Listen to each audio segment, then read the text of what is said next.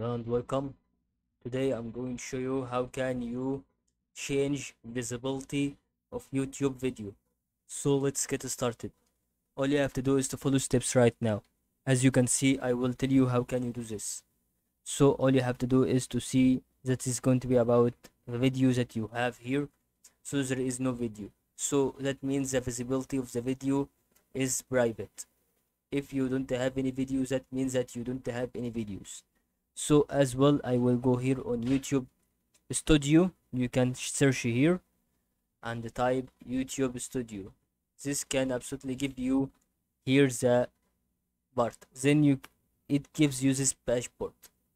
After that you can click on content. And this will absolutely give you a variable option to let you understand right now why we do this. So you can click on three dots here. And then you can click on edit video. Okay?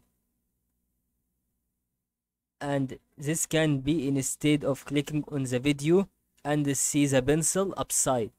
Okay? Pencil icon. So i give you the easy way. I let you only click on three dots on the right video. Okay? Behind this video there is small three dots. So you click it on it and then click on edit video. And that is going to be through here visibility. So you can go to the visibility private. You can set it up to public. And that's all about changing it. You can do it unlisted. You can set it private as it you want and or public. Then you can go back. And uh, after that you can click on save and that's all about what i can remind you about is going to be happening. Thank you for watching